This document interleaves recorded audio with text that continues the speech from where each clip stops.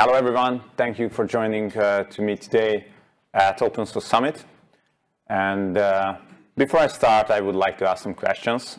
Uh, please raise your hand if you're familiar with Kubernetes. That's a lot. OK, thank you. that, that makes uh, it much easier to explain things. OK, please raise your hand if you're familiar with OpenTelemetry. A bit less, but still, still good. I assume that everyone knows what is multi-tenant means, so I won't ask that question. Although what you might not know is that if you put these three words together, it will open a portal to hell for syslog admins, for admins and, and operators as well. And I'm here to help and show, uh, show some loopholes how to avoid that. My name is Sándor Guba. I'm CTO at Axoflow and I'm an observability enthusiast. I'm working with logs, metrics, alerts, traces for more than 10 years, and I'm an early user of Kubernetes since, I don't know, uh, six years. So, so I, uh, I've seen a lot of things. That's why I'm talking about this today. I founded open source projects uh, uh like Logging Operator, Thanos Operator, and the latest one is Telemetry Controller, and I hope you will like it. But let's start at the beginning. You are all familiar, more or less, uh, with Kubernetes. So I would just go through the logging part. So Kubernetes, compared to traditional environments, is more dynamic. It's designed to be dynamic. So your tools have to follow, you know, like pods coming up and, and go away, and you have to follow that pattern.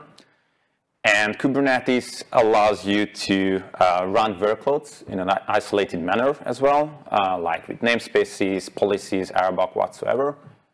But the logging seems to be uh, a missing piece for that. Um, it, it's an exception. It's a cluster resource. And why is that? When you see on the picture, uh, there is a Kubernetes cluster, there is a node where your uh, pods are running, and uh, Kubernetes does not configure anything really. I just let the container runtime to grab the standard out of a container and write it on a file on the file system. The basic way to access these logs through the Kubernetes API that calls the kubelet agent on the node and basically uh, doing a tailing on that file, which is fine for you know debugging or, or development, but uh, really not suited for uh, um, production grade operation. So what you do? Uh, you install an agent on these nodes. And now you can see how we violate the boundaries of namespaces. For example, all the uh, nodes by default running any kind of namespaces. So on the disk, uh, you will have uh, pod logs from different namespaces. The agent will mount these uh, logs and send you to your preferred destination. So at least we have now something production ready because we are collecting the logs and sending to somewhere but it can cause other problems. Uh, you, have, you might have a complex logic at the edges on the node level, and uh, new configuration can take a lot of time for uh, Kubernetes clusters with 1,000 nodes or more. So this is a half solution. Still, it's kind of the official one that you can read on the Kubernetes documentation.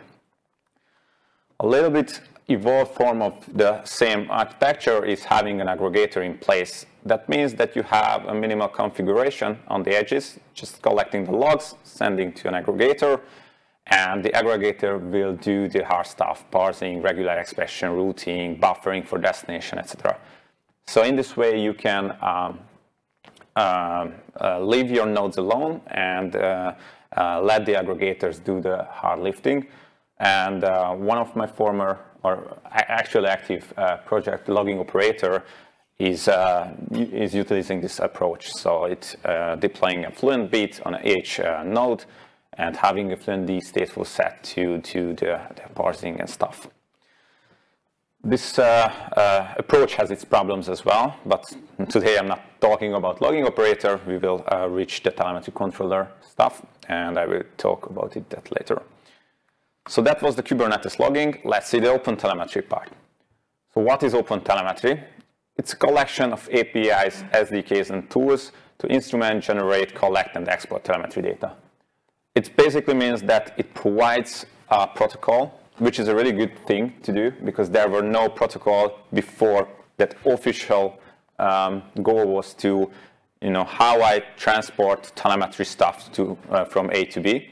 Uh, there were some, you know, like uh, tool-oriented, like FluentD had the Fluent protocol, uh, had the Lumberjack protocol, all firewalls appliances had the syslog protocol, but there was no modern protocol to handle the telemetry data like log metric traces. And uh, what uh, people did is to fall back on general protocols like HTTP or gRPC, HTTP is a good protocol. It gives you a lot of benefits. You can use JSON payload. You can send whatever you want, but you lose the uh, flexibility of knowing what's uh, uh, what's traveling uh, on the cable. I will talk that a bit later as well. And the other part of OpenTelemetry is there is a reference uh, implementation in Go, which is widely adopted by big players. I mean, if you are um, you know, searching for supported distribution, AWS providing, or Cisco, or whatever, uh, an open telemetry agent. So we are slowly but steadily, at least in the Kubernetes world, uh, go for the standardization of, of telemetry uh, protocols and, and agents. So let's talk a little bit about this protocol. Uh, I won't go very deep, but uh, I think it's important to understand why it's a beneficial thing to do. So OpenTelemetry protocol is based on gRPC, uh, an open standard, and it's a binary protocol, so it's more concise than just uh, sending text like a JSON. It provides out-of-box encryption, compression. A lot of other protocols provide some, and HTTP provides uh, some out-of-the-box but these are all standardized here. Uh, it provides application level acknowledgements, uh, which doesn't look like a very new thing, but for example, syslog protocols from firewall switches, whatever, don't do that. And it's very easy to lose uh, messages uh, in that way, as well as load balancing. Uh, some protocols just utilize pure TCP. And if you try to load balance TCP, that's, that's hell of a job. It's, it's not good for you. And um, this protocol has a structured uh, schema as well. Uh, if you are uh, working with Kubernetes, uh, one thing is containers, applications, workloads, and the other part of Kubernetes, which I think the, the, the best thing that it's uh, brought to the table is metadata. We got metadata almost on every single resources that uh, is in Kubernetes, and you can group your resources, you can create rules based on metadata. So these are very important. Uh, in Kubernetes log, on average, uh, a log message is half metadata and half the content. So uh, this structure schema introduces metadata as first-class citizen. And why it's good for you? Because um, it can do intelligent, intelligent batching. So when you got an event from a container, it's, it is at least the record, the body, something that the application wrote, and the timestamp. And uh, OpenTelemetry provides you a structured schema uh, about uh, metadata in a resource, scope, and on a record level. The key values are the metadata that attached to uh, your uh, um, container logs. A trivial example, if you have a pod running label app uh, equals nginx, then in the resource label, there will be an app nginx associated. So the first approach was to attach this metadata to every log line. And if I'm saying that you know half of the metadata, half of the uh, log is metadata, then you can imagine that if you have a lot of logs, then you have a lot of metadata, and it's all redundant. So OpenTelemetry uh, provides you with this intelligent batching. The resource scope, scope is mostly used for tracing purposes, but the resource and record level are uh, very much used uh, in a log perspective.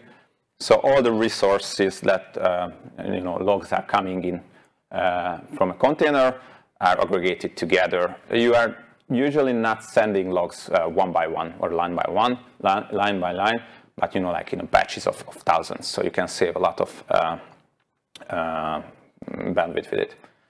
And I was talking a lot about you know saving uh, bandwidth, you know chipping some bytes here and there, compression, encryption, and there are some information about why I'm doing this. Uh, I'm talking with people who are logging a lot. Those are mostly security logs, but it can range from a terabyte a day to around um, hundreds terabytes a day. And uh, machines generate a lot of data. and it's uh, growing around, uh, you know, like a quarter by year, which means that exponential growth, that in three years, you double your data. So if you have, you know, like a year, one petabyte, in three years, you will provide uh, uh, two petabyte, and so on and so on, and it's exponential. So if you can save here and there, that's uh, a lot of uh, money you can save. I just uh, had a small calculation. This is just, I think, AWS list price for a, an egress uh, network uh, cost. So if you are logging 10 terabytes, which is uh, for like uh, healthcare, banking, or insurance companies, is, is uh, not too much. It's around $30,000 a month, just the pure egress cost. If you can just, you know, one-tenth it, you saved a lot of money. And the third part of the, uh, uh, the presentation is the multi-tenancy. Kubernetes provides isolation based on namespace levels. So it would be an obvious choice to, okay, use namespace as tenants. So I can lock a tenant into a namespace. It sounds good. However, in practice, this is not what's happening. I'm not sure how it evolved this way, but the examples out there using Rancher Capsule, all of them have their own tenant resources. Uh, for one reason, because they are storing the configuration in the tenant resources, and the other is that they are providing more namespaces to a tenant. Because if you are a large tenant and you want to organize your workloads, there is no other way than namespaces in Kubernetes. So um, we just accept that uh, tenant uh, is, is a group of namespaces. But how you uh, connect the tenants with the namespaces, again, metadata, you can label those namespaces, have a tenant label, so it's uh, immediately much easier to identify which namespace uh, belongs to uh, which workload. Yeah, but we have to go back on the node level. We had the namespaces and pods, uh, and uh, with the tenants, it didn't get easier either. So we we don't know about uh, you know which which tenant it, the message came from. We have one leverage, that uh, Kubernetes has this pattern of files like uh, namespace underscore pod underscore containers. So you can identify pod and uh, namespace, but you can't identify tenants uh, by default unless you are doing some tricks. So uh, a basic, uh, and not just for multi-tenant, but I think for basic Kubernetes logging, this is what's happening. You have an agent tailing files, so you get the content of the file and the timestamp. You, you are parsing the path, the file path, where you parse the logs. So you got the namespace, the pod, and the container ID. Then you query the Kubernetes API for all the other metadata, pod labels, namespace labels, whatever. And then you are able to route uh, your logs to a tenant. Remember that you don't have any other toolset inside Kubernetes that helps you identify which uh, logs come to uh, where. So it sounds simple. Four easy steps, just do it, why I'm talking about this. Uh, I won't go into very much details, but during my last six years, I uh, fight with this problem. so believe me, it can, it can have uh, issues coming from here and there, and you would never expect. The first very big problem is that it's a huge shared configuration. So uh, when you have an administrator of the Kubernetes cluster, it would be his responsibility to manage all the namespaces, all the tenants, and uh, if you have no tooling, you would do it by hand. And uh, uh, I will show you later uh, a simple open telemetry configuration. It's around 100 or 200 lines of code, and it's just a simple example without tenants or anything. The noisy neighbors. Um, there can be different kind of problems. The first is configuration conflicts. That's, that, uh, ruin the day-to-day -day operation for multi-tenant systems, I can assure you resource exhaustion, uh, all kind of resource exhaustion. Um, for example, uh, one tenant doing extensive parsing or extensive filtering that can eat up a CPU on a node.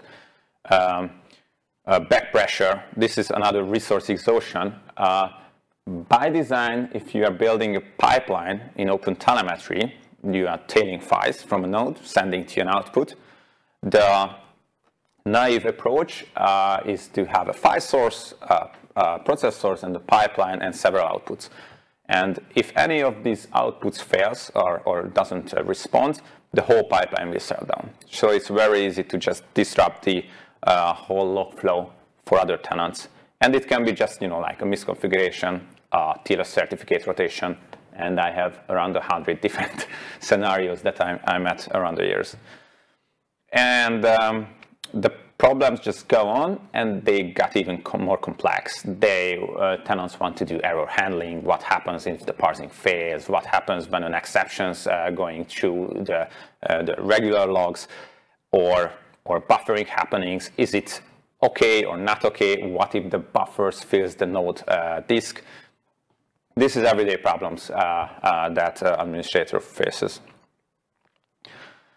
So instead of going uh, through one by one of each problem, how to solve it with, I don't know, 10 or 20 lines of configuration, we decided to write a new operator called telemetry controller. And telemetry controller turns telemetry event uh, streams into Kubernetes resources. It brings back the isolation and access control that is missing for logs data.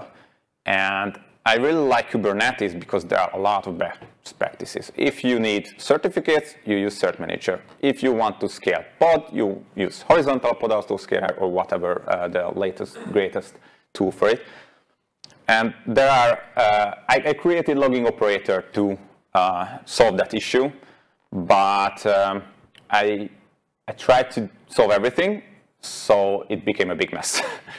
uh, and uh, we sat uh, back to the table and, and okay, now we will solve one problem at a time.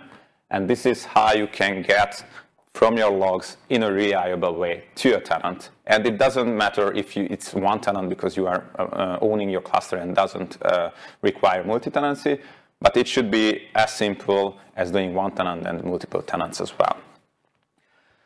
Um, uh, why we are doing this?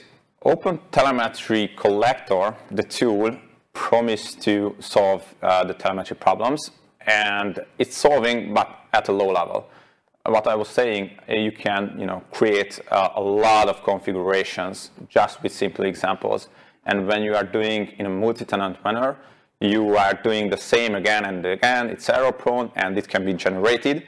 So it's an abstract abstraction layer on top of OpenTelemetry, not exchanging it or it's, it's coexisting with it.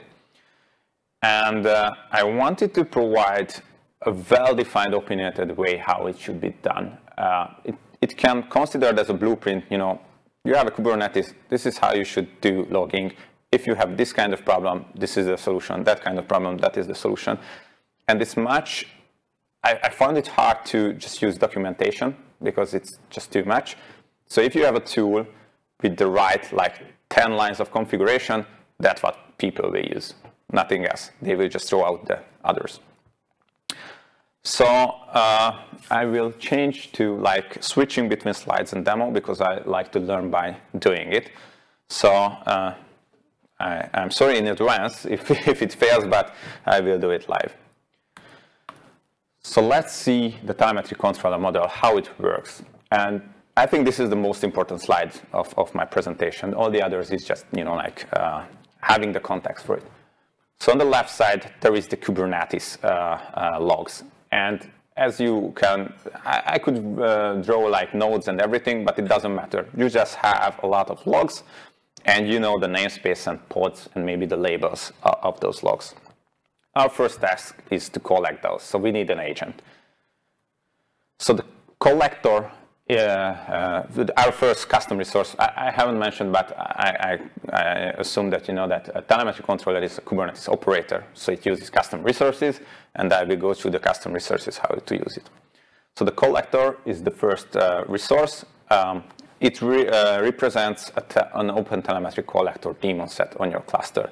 So it got its basic configuration, like volume mounts and I don't know, uh, buffer sizes, so the agent level configuration. And an important part, uh, part of this is the tenant selector. The tenant selector tells which tenant the collector should send logs to. It's an important part because I uh, uh, met use cases that are not running just one agent as a daemon set, but multiple. There are several use cases for it. For example, hard multi-tenancy. If you want to pin uh, nodes to tenants, you are usually end up uh, running different uh, daemon sets for, for those different nodes and have this, uh, you know, like scheduling barricades to prevent from, you know, spanning to other tenant nodes.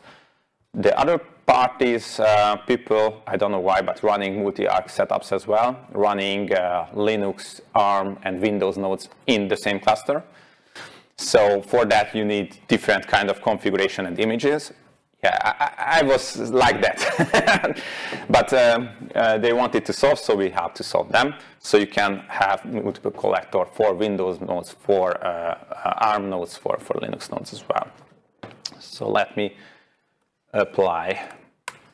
Yeah, and uh, I forgot to introduce our environment. So this is the Minikube. Uh, can you see it back as well? Great. So this is a Minikube running on my computer, and I pre-installed the telemetry controller. It's not that, mm, you know, it's, it's just a controller. and it installs a telemetry operator as well. So we are instructing open telemetry at the end of the day. And I installed OpenObserve, which is, um, you can imagine OpenObserve as, a, as an, open, an Elasticsearch, OpenSearch. It can accept logs uh, in uh, OTLP gRPC format, so native uh, OpenTelemetry, and it's very easy to query uh, uh, logs here and demonstrate. So, so this is uh, my environment, and I have the same resources um, mm, prepared here that what I have on the slides. So I just created the collector I will show that it's basically the same that I show you. And uh, we have a, a, a trick uh, for telemetry collector. You can use the kubectl get telemetry all command minus uh, uh a for all namespaces to list all the resources that managed by OpenTelemetry. It's a very convenient way to see what's happening. So now I only have a collector uh, resource that's applied to zero tenants because I don't have tenants yet. So back to the slide. We created the collector. It's a simple collector, no hard multi-tenancy, nothing. So the second uh, element is a tenant. I already told you that Rancher and Capsule, they all have these tenant resources, so why we are not using that one it's exactly because that, because there are different solutions. Uh, maybe uh, you don't want to use any hard tenancy or you have a policy engine, a custom one, whatever. So we are uh, created our own tenant. And it um, turns out that in Kubernetes, to, to triggering from run resource to create another resource is very easy. So it's, it's, not, it's easy to write a generic uh, controller that just you know, copy a Rancher project resource and create the telemetry controller tenant resource from it. And in the tenant, uh, you can uh, uh, set a couple of things. The, one of the important part is the labels. I already told you that here we have the collector match label uh, um, with the collector uh, cluster metadata. And this tenant has this collector cluster metadata.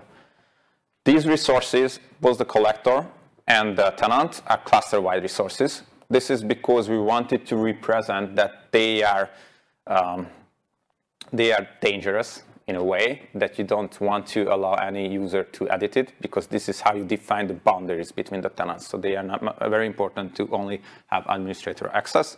And you see that a collector can access all the logs. When you set a tenant, you set what namespaces the tenant should own. There are two kind of namespaces, the subscription and the log source namespace. The subscription namespace, uh, we will uh, see that later. Those uh, include the configurations uh, from the tenant, that's coming from the tenant.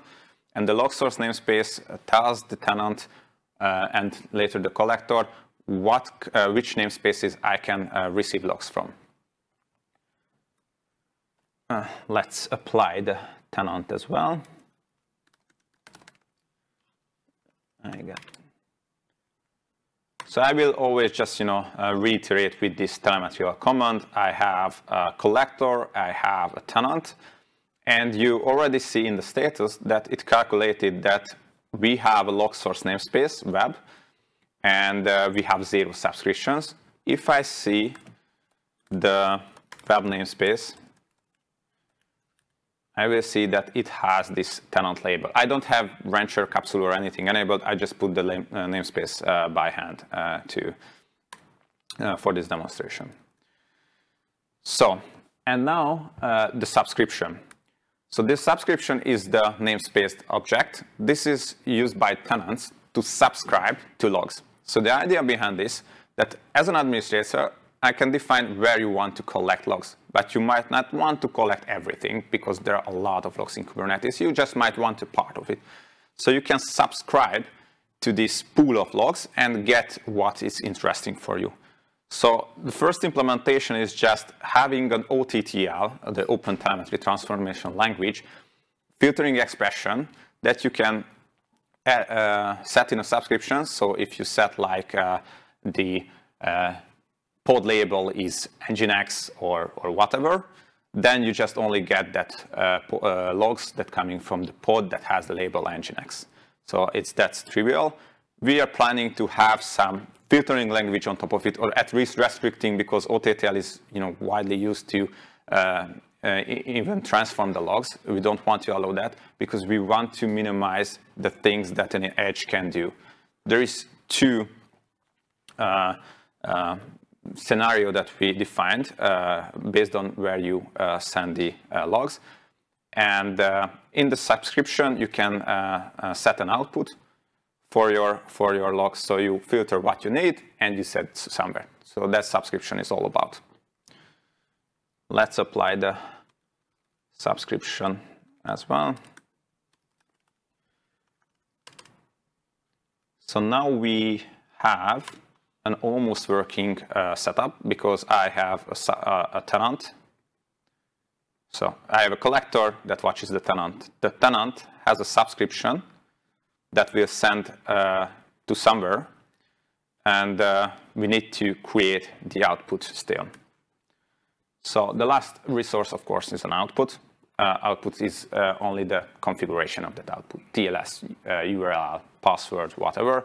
In the logging operator, we had some sophistication with the secrets, you know, getting uh, credentials from the secrets. Uh, it's still in progress in uh, telemetry controller, but it doesn't prevent us from, you know, like doing some demo. And I was talking about, you know, like the two scenario what we expect our uh, users to do. One is to have an aggregator. So that's what was the kind of problem that in logging operator, we tried to solve the collector and aggregation part as well, and it became too complex. Now we just solve the collection and expect the uh, user to solve the aggregation by, for example, running an open telemetry. And if you are running an open telemetry and you expect that, yeah, I filtered for Nginx logs, it's, it will be a very trivial processor that I just parse the Nginx logs and send to somewhere. So it minimizes the complexity of your own aggregator. The second situation is when you have like this soft tenancy. So for example, a company running a Kubernetes for different uh, teams. So you need some uh, tenancies so there won't be any noisy neighbors, but you send for the same Loki destination on OpenObserver or Elasticsearch. So it doesn't really matter to create uh, separate outputs with each tenant. You can reuse these outputs and it's still work in progress, but it will be multi-tenant by, uh, by design. I mean, for example, Loki can accept a tenant header. So when you have the, the uh, tenant-enabled output, it will set the tenant header as well. So the multi-tenancy will uh, land in Loki like with the, with the org ID and everything set uh, in advance without you have to touch anything. So that's, that's the two case we have the first case ready, the second is in progress. There are some problems with setting gRPC metadata dynamically in OpenTelemetry, but that's another story. So let's see, I will apply the output as well for my open OpenObserve. And if everything works as expected, now I have the output uh, for my subscription as well. And uh, in the OpenObserve, I got my logs. And uh, uh, because I, I, haven't, you know, like started an aggregator, but uh, this is an OTLP uh, formatted logs, and you can see that you can you have the tenant subscription and all the metadata, all the pod labels and, and other information ready. So when you put it in your aggregator, you can use, for example, the subscription field to route your logs. So you don't have to do this again and again. You can rely on the collector to pre-process your, uh, uh, your message. And uh, let's get back to the slide. And uh, after that, I will show the uh, aggregator version as well. I put it together yesterday, so I hope it will work. Uh, but I wanted to um, re, uh, uh, summarize what is the purpose of the controller.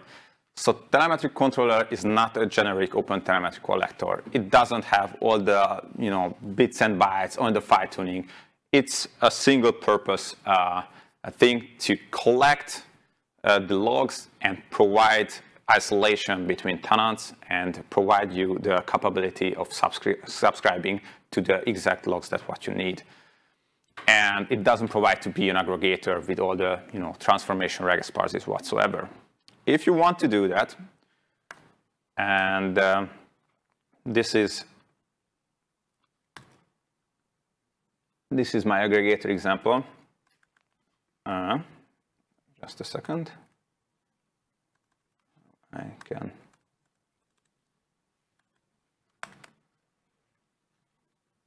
So I try to zoom it a bit, but I fail on that. Anyway, I will describe and I will put this all on GitHub so you can, you know, play around with it, you know, just have a Minikube and, and anything. So I will create a new uh, uh, output and a new subscription. The subscription will be very similar to what I already had uh, because it's kind of the same. And the aggregator uh, and an output that will send not to directly to OpenObserve, but to my aggregator. And this is uh, an example of my open telemetry aggregator, which uh, instead of talking about, I will just start it so it's easier to follow. So this is a generic OpenTelemetry resource uh, handled by the OpenTelemetry, uh, OpenTelemetry operator. So when I check, this is the web aggregator collector. This is an OpenTelemetry running as a stateful set. Uh, I can even, maybe it's much easier to see here the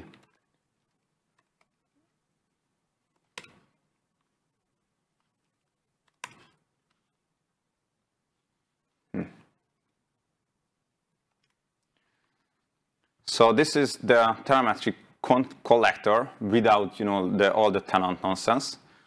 And there are some basic uh, configuration. This is the output for my OpenObserve. I will have uh, an output for the same OpenObserve, uh, just in a different stream name. This is kind of the index of, of for OpenObserve. I have parsing statement. This is an Nginx uh, log parsing statement because I'm just you know generating Nginx access log in the web namespace and I'm listening on an OTLP protocol, which I defined in the output. So when I, I apply the uh, open telemetry, I will apply the output and the new subscription. So if I go back to my favorite command to print out everything that's happening in my cluster, I will have, you know, like another um, output another uh, subscription and hopefully another logs in the open OpenObserve and these logs are parsed Nginx logs. You can you have the access code, the method, whatever, so you can do any transformation. And this is a very simple example, but you can do GeoIP, you can do filtering, you can uh, do whatever you want uh, with your logs. Um, and uh, So that's, that's about the demo. I get some in progress and upcoming. So I given some talk uh, about you know logging on Kubernetes, and one of them was about the four different log sources that Kubernetes have or might have. And the first is containers. I just talked about containers, but there are different uh, sources like applications. Uh, it can be different kind, like uh, you know, like fat container, Java application, storing files on the container file system. Uh, logging operator has a solution for injecting sidecar into the pod, tailing the files from there. Uh, we want to add this source to telemetry controller as well, or consuming directly from the SDK. OpenTelemetry SDK can send logs out directly. The platform logs, the host events, Kubernetes node logs, Kubernetes events logs, logging operator had some solution for that as well. We will migrate it to here and external logs as well. Some, some uh, people use Kubernetes as, you know, like the log processor for the company. So they have, you know, uh, pull and push metrics like pulling from uh, SaaS providers or uh, receiving to ingresses, uh, a lot of different kind of logs. Um, and we have still some work ahead. Monitoring the pipeline is an interesting uh, case here because um, when you have such complex systems, they become itself a monitoring, uh, they, they require monitoring. So if something goes wrong, your tenant saying, I'm not getting the log, what's happening? So what we do is that we transform almost everything that you see on the kubectl statuses into metrics, and we'll have dashboards, so you can monitor that and the resources, the controller report back to the resources if there is a fault, you know, like if, if the configuration doesn't fly or if there is no output uh, uh, defined for a subscription and that's the problem. So it's much easier to just, you know, pinpoint the problem. The output has already uh, uh told you about the out-of-box multi-tenancy. I think that's a very interesting use case and the secret handling is, is, is uh, missing a bit. Uh, we are uh, uh, we want to define the default route for subscription. If you remember to the to this picture, you can subscribe to the, to some of the logs, uh, and uh, you can you know subscribe two times even if you if you need some because you want to do different transformation or whatever reason. But because if it's it's a pool and you subscribe, you don't know what left in the pool. So there will be a default, you know, unmatched rule that, you know, I want to get everything else that I haven't subscribed for. Uh, this is a simpler use case just to not, you know, like miss anything from the logs. And another interesting use case is the shared logs. There was a, uh, a, a, guy who had an Nginx access log, and it was a multi-tenant cluster, and the Nginx, uh, the, the, the nginx was shared between the tenants, and he wanted to uh, send the, uh, the specific uh, access log by vhost to the specific tenants. So you wanted to parse the logs and send each tenant to uh, their respective logs. And I have a work in progress for that as well. And if you attend to KubeCon in uh, Salt Lake City, I will show that to you. Uh, and that's all from me today. I collected some useful links here. And uh, I think we have some time for some questions. Yes, please.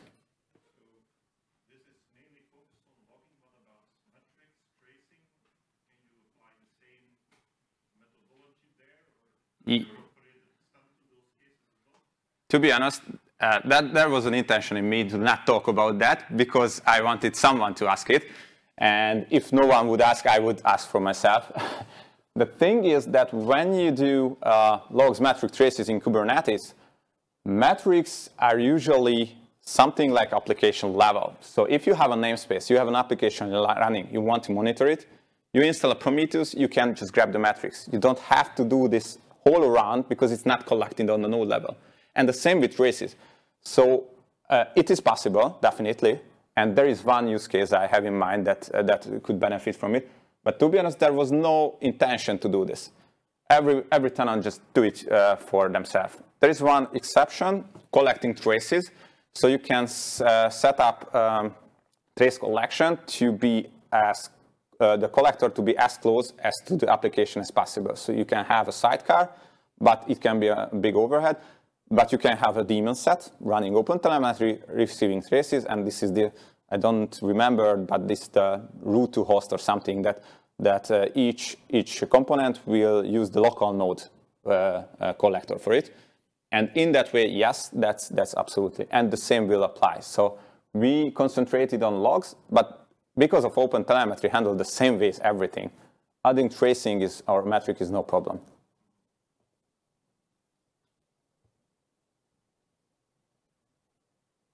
If there is no more question, then thank you for listening to me.